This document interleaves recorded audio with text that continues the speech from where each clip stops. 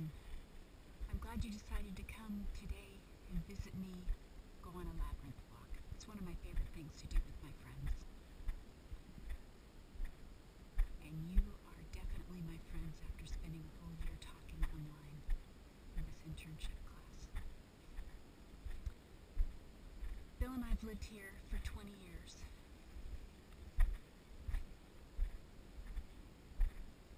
And so things are always in change. Over here you see where we had a awning for our firewood that we're in the middle of rebuilding with the shed because it collapsed under the snow last year. This first part of the garden is where Bill and I got married back in 1993. And so this big gate's our 15th anniversary memorial. Kind of, it was his present for me. So I have a wonderful gate to my garden. And this is where Bill and I took our vows to love, honor, and cherish each other till death do us part. Right here.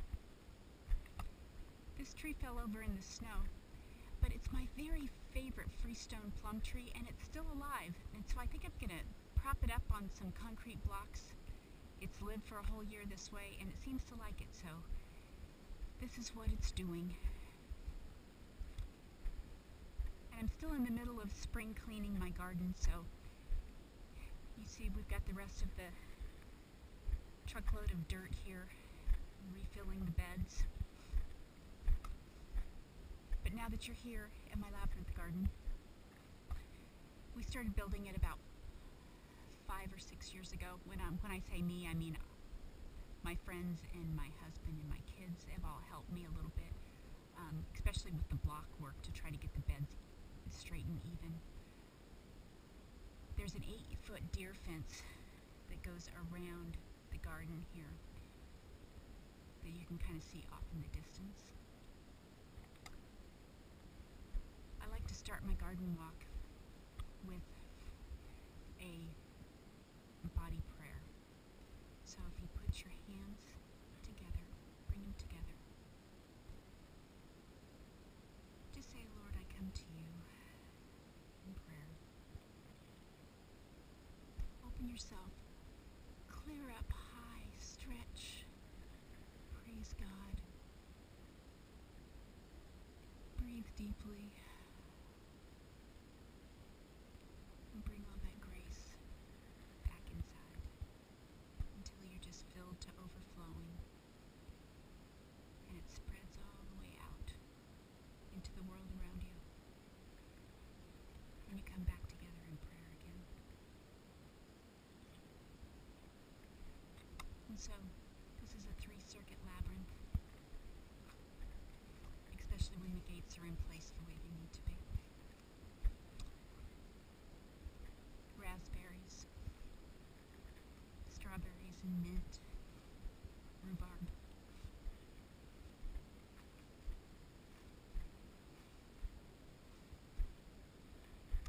Asian pear trees, brand new blueberry bushes.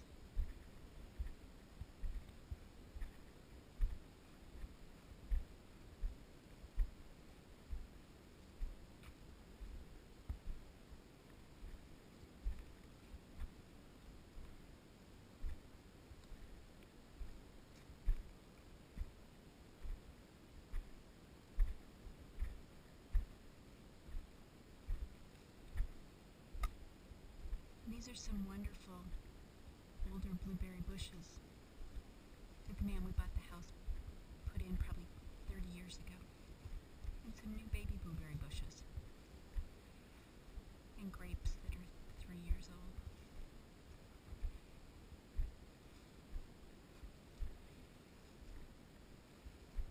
And I've discovered that snapdragons and pansies come back in my little beds.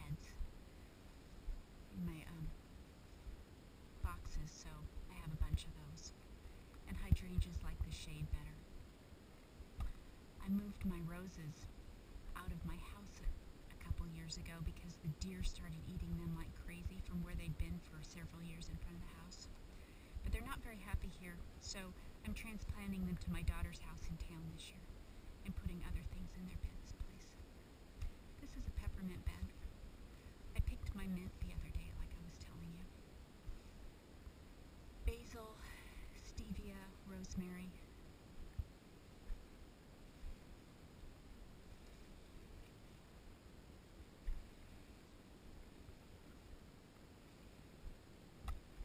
sister Debbie gave me these little bulbs a couple years ago from where she dug them out of her yard.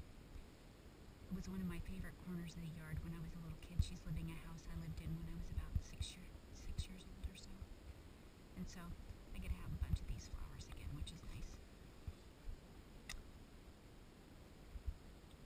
Thyme, tarragon, some little marjoram, which is an annual here that I planted, and some um, chamomile that has been reseeding itself. I've put a couple more plants in this year, but the other ones have reseeded from seed, from just themselves. This is a mixed mint bed with mostly Moroccan mint. Um, there's a little bit of orange mint, a little bit of chocolate mint, but mostly Moroccan mint in this bed. And these are leeks, the last couple of the ones that I planted a couple years ago. And then I planted some new baby ones. And this is a really pretty white hydrangea that my friend Polly got me, and it'll be in bloom soon. Rainbow Swiss chard. This is going to be my um, peas and beans, and I string them so they climb. They're planted now, but they aren't up yet.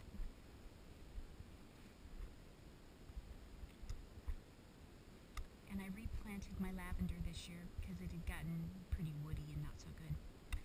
And one of my favorite older couples at the Oak Ridge Church, the Hellicksons, started a whole bunch of little marigolds and they gave them to people um, last Sunday in um, just little, you know, like plastic cups that they'd put seeds into. And so each cup had, oh, 10 or 12 of them in there. And so I just replanted mine in here. So in a few months, I'll have a whole bunch of yellow, just bright yellow, right here. And that'll be some little pink carnations. And this is the first herb bed that I ever had. So I've got a little sage, bunch of oregano, chives. It used to have some thyme and some other things, but it, they didn't um, compete well with this stuff, so that's what stayed here. And so I've planted other things other places. And these are some Mr. Lincoln roses that are not all that happy here. And so they're going to be going to live at my, sis- my daughter's house.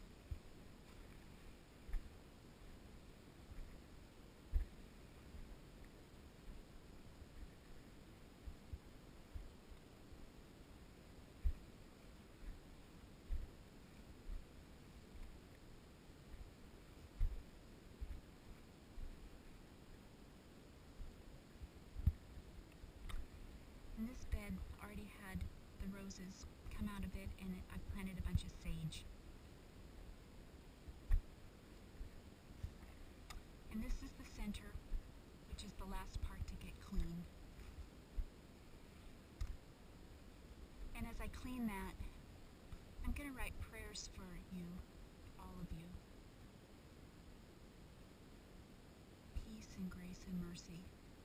I'll put them on real little ribbons that hang off of this metal tree.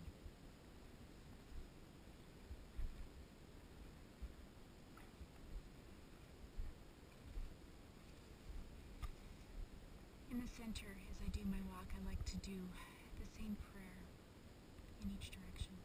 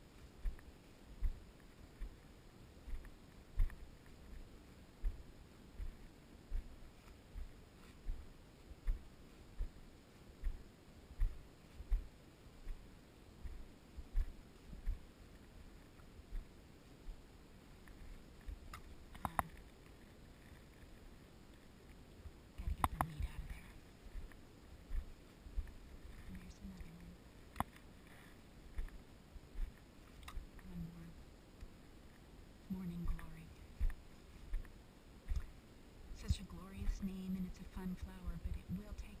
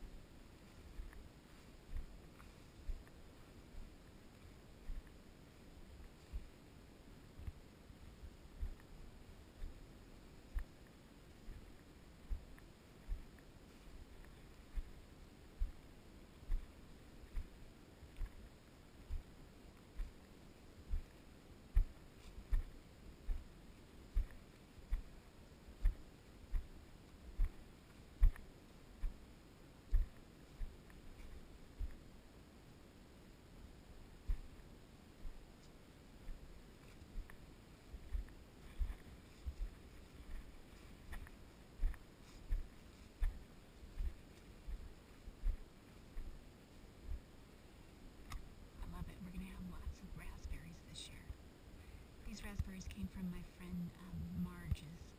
She and Tom are in their 70s, and Marge is part of my contemplative prayer group that I've been in for a long time. And she gave me lots of starts off of her raspberries, and as you can see, they like to make little babies all over. So when mine get a little better established, I'll give a whole bunch to my daughter